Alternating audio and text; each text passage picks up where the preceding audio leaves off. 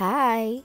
Today, we are going to create a table in Microsoft Word. Tables are used to lay out data in a rectangular grid. It consists cells between rows and columns. Now, let's start! Let's open the Microsoft Word application. Make sure that you are signed in using your team's username and password. Now, let's click the plus button to create a blank document. To insert the table, we are going to click on the Insert tab. We will use this option right here that looks like a small table.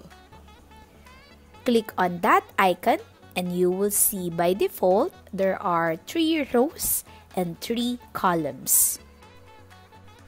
Now, let's add some styles on our table. You will see at the top, Table Styles. You can click that and you will see here a lot of different styles.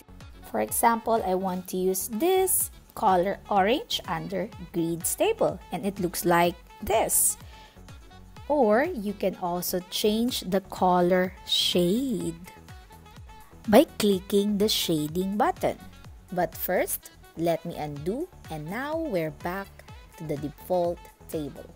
And you will notice I placed my cursor in the center.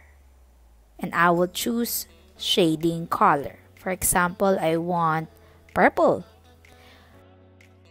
You can change the color of each cell by clicking it.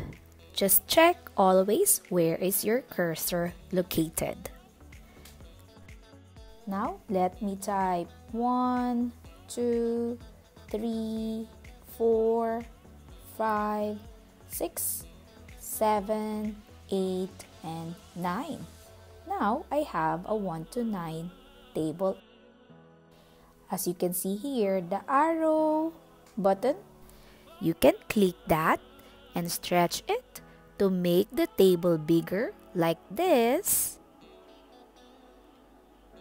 or make it smaller like this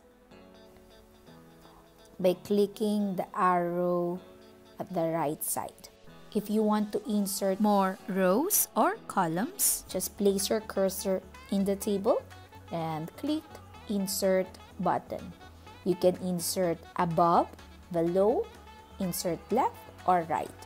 For example, I want to insert below and it's look like this. Thank you for listening.